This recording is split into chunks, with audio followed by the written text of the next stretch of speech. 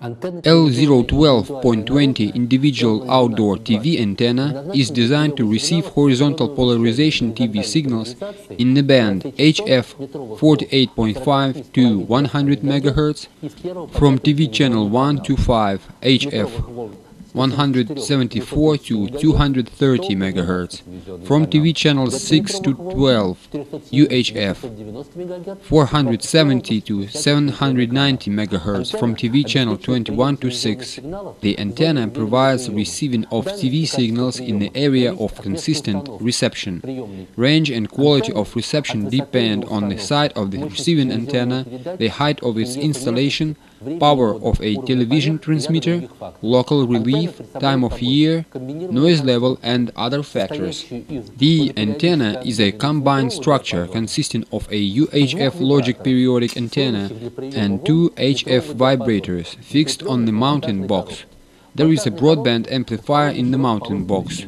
There is a fastening knot on the mast for installation and orientation of the antenna. The antenna is equipped with a power source with a separator.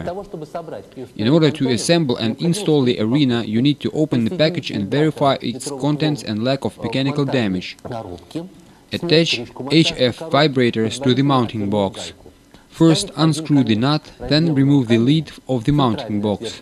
Attach HF vibrators to the mounting box, depending on the type of the antenna. Put back the lid and tighten the nut. The other end of the cable is attached to the separator.